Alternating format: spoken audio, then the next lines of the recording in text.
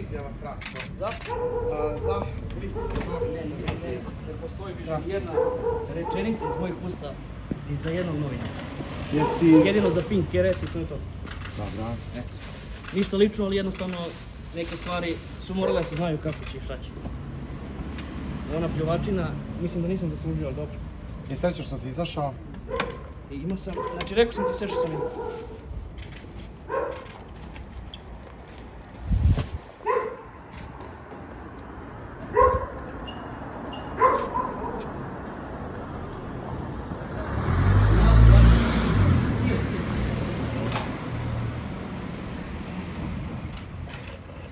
person